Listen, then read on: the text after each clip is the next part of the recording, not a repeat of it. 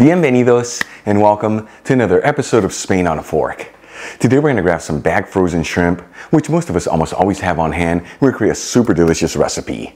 We're talking a one-pan shrimp and rice dinner. Now the beauty of this dish, besides the fact that it's super easy to make and made with the simplest ingredients, is that it comes together in about 30 minutes, yet the flavors feel like they've been simmering for hours. Once again proving that less is more and sometimes the simple things are the best things.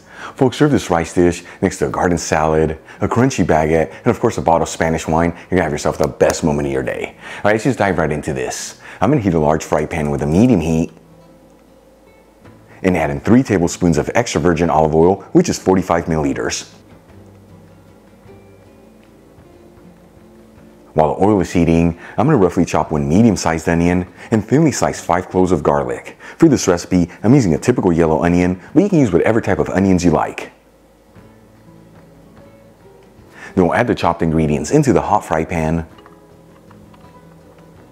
And we'll mix them around. That way they're all coated in the olive oil. And since we cut the onion and garlic into larger pieces, you don't have to mix this around continuously, but do get there every minute or so. That way everything evenly sautés.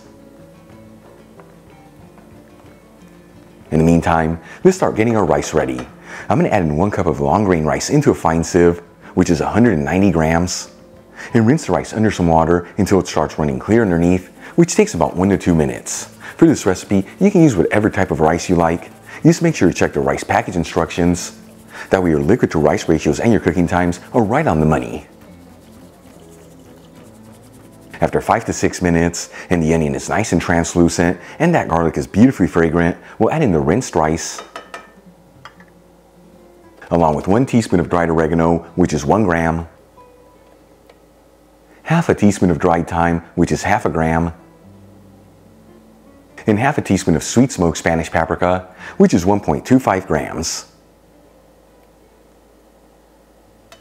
Then we'll season generously with sea salt and freshly cracked black pepper,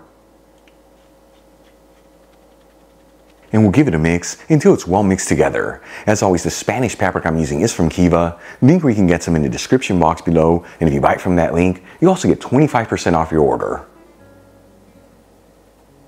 Then we'll add in one and a half cups of water, which is 360 milliliters. You can also use chicken broth here, or even veggie broth if you like. I just prefer to use the water here, that way that liquid doesn't overpower the flavors of the dish. And then we'll turn it up to a high heat and give it a gentle mix.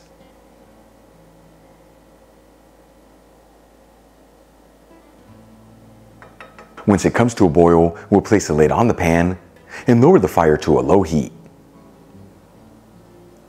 While the rice is simmering, let's start prepping our shrimp.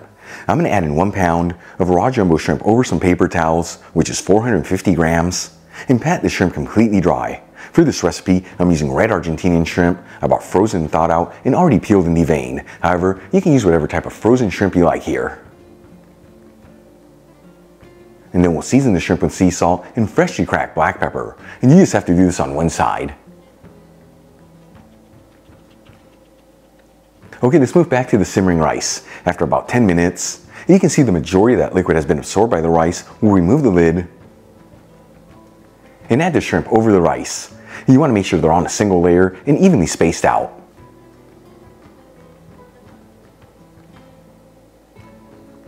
And then we'll place the lid back on the pan and simmer this for another 5 to 8 minutes until all that water has been absorbed by the rice. After a total cooking time of 15 to 18 minutes on the rice and all the water's been absorbed, this dish is ready to go. I'm going to remove the pan from the heat and we'll leave our rice to rest with the lid on just for a few minutes. You know, by trapping that steam in there, it's going to ensure that each grain of rice and the shrimp are perfectly cooked through.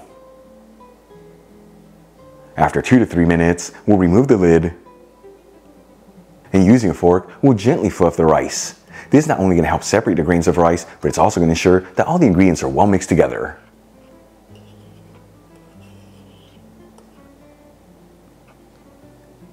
And you can serve this directly out of the pan or transfer into some serving dishes. Either way, check it out. Our one pan shrimp and rice dinner is done. Easy to make, the simplest ingredients, and all done in about 30 minutes. Let's give it a try and see how it turned out.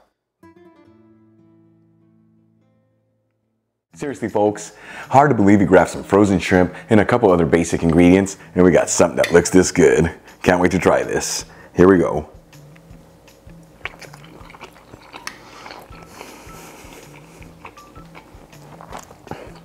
Check that out. That right there is truly right on the money. The rice is beautifully cooked. There's sort of all the flavors in the pan. And once again, so important to check the packing instructions in the rice you're using. That way your liquid to rice ratios and your cooking times are right there. Uh, the spices and herbs give it that lift of goodness. And of course, those shrimp that just melt in your mouth take this to the next level. Easy to make, heart healthy ingredients. Give it a try at home. Once again, next to a garden salad, a crunchy baguette, and of course a bottle of Spanish wine can have yourself the best moment of your day. Really quick before I go, shout out to a couple of my patrons, Holly Parker, Rogelio Jr. Rivera, Elaine Engros, and Kelly Larang. And guys, thank you so much for being patrons of Spain on a Fork. You know how much I appreciate you. Enjoy today's video, hit that like button, leave me a comment below, and if you're not subscribed, don't forget to smash that subscribe button and click on the bell icon. Then we can get notified every time I release new content and to become a part of the Spain on a Fork family. Till the next time, hasta luego.